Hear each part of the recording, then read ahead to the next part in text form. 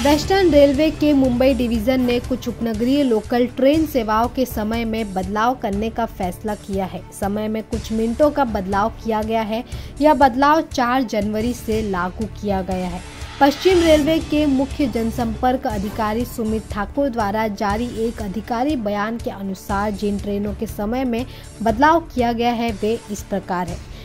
विरार से चर्चगेट लोकल, जिसका प्रस्थान का पुराना समय आठ बजकर एक मिनट था, अब वह सात बजकर पचपन मिनट पर निकलेगी। तो वहीं विरार से चर्चगेट एसी लोकल, जो विरार से सात बजकर छप्पन मिनट पर निकलती थी, वही अब विरार से सात बजकर उनसठ मिनट पर निकलेगी।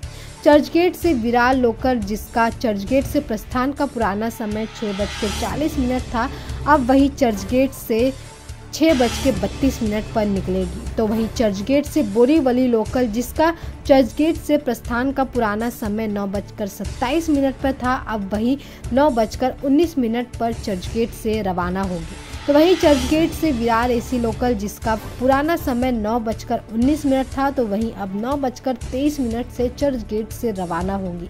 चर्चगेट से बोरीवली एसी लोकल, जिसका पुराना समय नौ बजकर चौबीस मिनट पर था, वहीं अब चर्चगेट से नौ बजकर सत्ताईस मिनट पर निकलेगी।